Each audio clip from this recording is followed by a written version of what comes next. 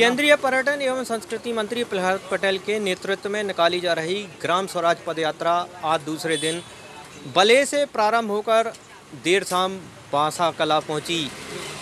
बले से प्रारंभ होकर गड़ाकोटा पहुँचने पर स्वराज पदयात्रा का भव्य स्वागत किया गया।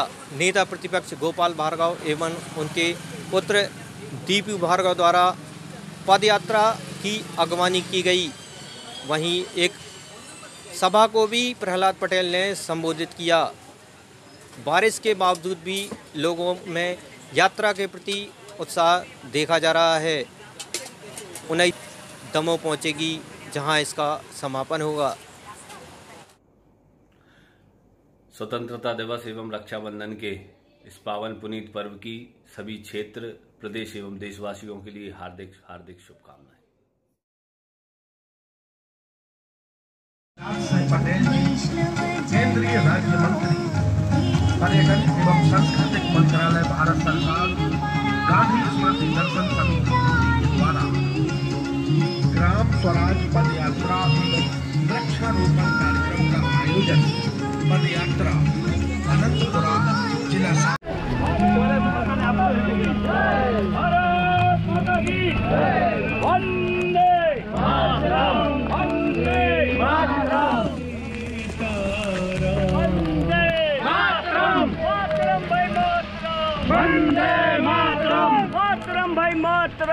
वंदे मातरम। भारत माता की जय। भारत माता की जय।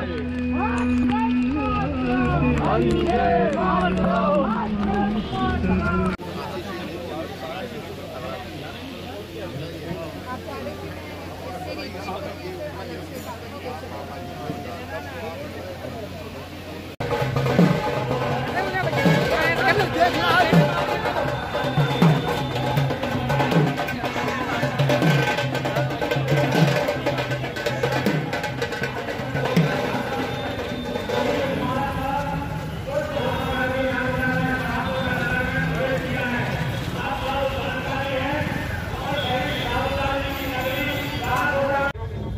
कहले कल नींद नहीं आएगी, ये बात आप क्या मानकर चलना, मैं किसी को बताऊँगा नहीं कि मैं रात भर जगा हूँ। मैंने उसके पैर छुए थे और मैंने कहा था, तूने मेरा अहंकार समाप्त कर दिया। तोड़ा हमारे पूर्वजों ने तोड़ा हमारे देश के बलिदानियों ने तोड़ा और अपने प्राणों की आहुति दी। यदि हम इसको नहीं जान सके तो आगे कभी भी ऐसा वक्त आ सकता है कि जब कोई आदमी आज़ादी के लिए लड़ाई नहीं लड़े आज़ादी की कल्पना नहीं करे तो इसलिए बहुत ज़्यादा आवश्यक है कि हम जब संहालोकन करते हैं पृष्ठभूमि का, फिर पहले हम जब देखते हैं कि हमारे देश के और इसी नगर के, जैसे हमारे शहीद शाबूलाल जी जो स्कूल में पढ़ते थे, उन्होंने अंग्रेज़ों से मुकाबला करते हुए पुलिस थाने के सामने ध्वजारोहण किया था, ऐसे हमारे शहीद शाहूलाल जी के इस नगर में। और ऐसे हज़ारों नाम अनाम शहीद हैं जो देश में हुए हैं। यदि हम उनका स्मरण नहीं करेंगे तो हमें बात तो असली आज़ादी का अनुभव नहीं होगा आभास नहीं होगा। आज देश इस गति से आगे बढ़ा है। प्रधानमंत्री मोदी जी के नेतृत्व में, कुशल संगठनकर्ता अमित शाह जी के नेतृत्व में, जो देश आगे बढ़ा है दुनिया में नाम हो रहा है, चारों तरफ़ नाम हो रहा है, कश्मीर से लेकर कन्याकुमारी तक। भी पूछा जाएगा, वो चाहे अनपढ़ हो, चाहे पढ़ा लिखा हो, चाहे मजदूर हो, चाहे मालिक हो, वो कहेगा, मैं अपनी औलाद के लिए करता हूँ। लेकिन मैं आपसे पूछता हूँ, यदि आपकी औलाद बिगड़ जाएगी तो आपका धन का क्या होगा? क्या ये सच्चाई नहीं है? कि आने वाली पीढ़ी नशे की गिरफ्त में है? और हम हम बेलगाम होकर चुपचाप ऐसे जैसे मजबूर होकर देख रहे हैं, क्या ये सच्चाई नहीं है? इस हिंदुस्तान की सबसे लड़ाकू कौम पंजाब और हरियाणा में होती थी। वो नशे की गिरफ्त में भेंट चढ़ गई। उस षड्यंत्र को हम रोक नहीं पाए। राज्य बर्बाद होते गए। इसलिए मुझे लगता है कि यह जवाबदेही सबकी है, प्रधानमंत्री ने जिस प्रकार से लाल किले की प्राचीर से कहा, ऐसा नहीं है, ये शताब्दी तो पिछले समय शुरू हो गई, सरकार तो बाद में आई है दोबारा। उन्होंने कहा था कि सबकी शताब्दियाँ एक वर्ष मनाई जाती हैं, आदरणीय नरेंद्र मोदी जी ने। महात्मा गांधी की जन्म डेढ़ सौवीं जयंती दो वर्ष मनाई जाएगी। मैं सौभाग्यशाली समझता हूँ ये यात्रा गांधी स्मृति और गांधी दर्शन ट्रस्ट की तरफ़ से इसके अध्यक्ष माननीय प्रधानमंत्री होते हैं और इसका उपाध्यक्ष संस्कृति मंत्री होता है। मैं अपना सौभाग्य समझता हूँ कि नरेंद्र मोदी जी ने जो अवसर मुझे दिया। अगर मुझे संस्कृति मंत्रालय मेरे पास नहीं होता तो शायद मैं ये काम करने में उतनी ज़िम्मेदारी के साथ में काम नहीं मुझे लगता है भगवान ने परीक्षा ले ली और उसमें हम लोग सब उत्तीर्ण हो गए हैं। कल और परसों का दिन हो जाएगा।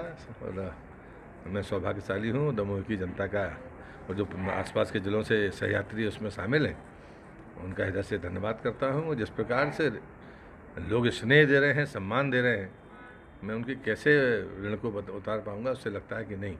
मुद्दों पर प्रधानमंत्री की अपील पर लोग पूरी तरह से जागृत हैं और आगे काम करेंगे। क्या क्या दो तीन चीज़ें मुझे लगता है कि आज मैं गौरवान्वित हूँ। आदरणीय प्रधानमंत्री जी ने दो अक्टूबर से पॉलीथीन का यूज़ बंद किया। हमने उसको कल दोपहर से ही कर दिया। और अब पूरी यात्रा में पॉलीथीन का यूज़ नहीं होगा। दूसरी बात मुझे लगती है कि पर्यटन से संबंधित दमोह में जो संपत्ति है, उसका तो कोई जवाब नहीं है। जैसे आज मुझे पहली बार जानकारी आई कि गढ़ाकोटा में एक जैन मंदिर है, एक निजी परिवार का है, लेकिन 250 वर्ष पुरानी उसमें तेल चित्र है। और राजा मर्दन सिंह जी का चित्र है जो सरकार ने उनसे लिया, उसी वॉल से लिया। लेकिन चूँकि वो निजी संपत्ति है तो अभी तक उस पर कभी कोई प्रयास नहीं हुआ। तो मुझे लगता है कि मेरी लोकसभा न जाने कितने कारणों से कितनी समृद्ध है और वो भी संस्कृति और पर्यटन को लेकर जो संपत्ति पूंजी हमारे पास है मुझे लगता है कि ये अच्छे लक्षण है। सर पॉलिथीन के उपयोग को लेकर कोई मिशन अब दो दिन चलाएँगे या कुछ संदेश देंगे सर? नहीं नहीं प्रधानमंत्री ने कहा ये दो अक्टूबर से बंद करना। पर हमने कहा हम अपनी यात्रा में पहले से ही बंद कर दें। तो ये तो करेंगे ही और साथ में हमारे भी जो कार्यक्रम होंगे उसमें पॉलीथीन का उपयोग नहीं होगा। बाकी लोगों से भी आग्रह करेंगे कि कृपया करके आप प्रधानमंत्री जी की इस अपील को स्वीकार करिए और उन्हें वन साइकिल पॉलीथीन की बात की है, कोई बहुत कठिन बात नहीं। दो दिन और बचे हुए हैं। कैसे कर पाएँगे इतना इनफील्ड शोरूम 350 सीसी से 650 सीसी के सभी मॉडल्स उपलब्ध। एक्सचेंज सुविधा के साथ 100 परसेंट फाइनेंस तीन हज़ार रूपए ई पर। टेस्ट राइड एवं home test ride automated workshop service centre हर स्पेयर पार्ट्स उपलब्ध। रॉयल इनफील्ड से ट्रेंड स्टाफ होम पिकअप एवं डिलीवरी की सुविधा। सर्व सुविधा युक्त वेटिंग रूम पुराने मॉडल्स के लिए भी सर्विस उपलब्ध। कुबेर इनफील्ड पुराने आरटीओ के पास किल्लाई रोड दमोह।